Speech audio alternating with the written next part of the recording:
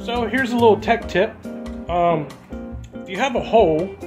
like through the firewall, and you want to run electrical lines or, or something like that, uh, but you don't want them to be cut, you can take some uh, fuel line and you can cut it with a box cutter right down the middle and then you can wrap it around the, the metal area that you just hole sawed out.